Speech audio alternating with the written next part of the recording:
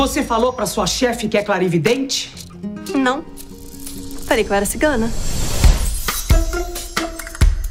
Luna Lovari. Tô precisando de uma clarividente. Só isso. Na verdade, eu tô mais interessada em ser jornalista. Se o horóscopo fizer sucesso e atrair público, eu te dou uma oportunidade de fazer paralelamente umas matérias mais jornalísticas. Eu preciso do horóscopo pra hoje. Finalmente, alguém pra falar com a gente de novo.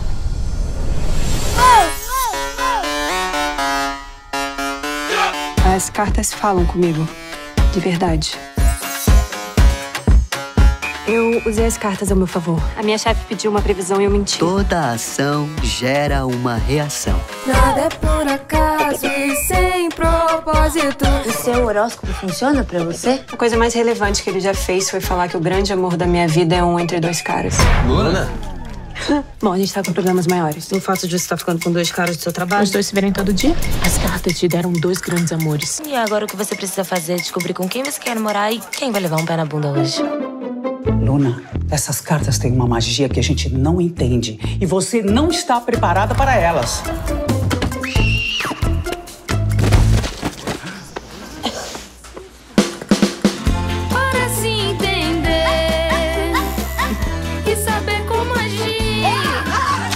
Falar que eu sou a cigana, ninguém vai me levar a sério como jornalista. Meu amor, você tem 21 aninhos, ninguém te leva a sério. Mundo da Luna.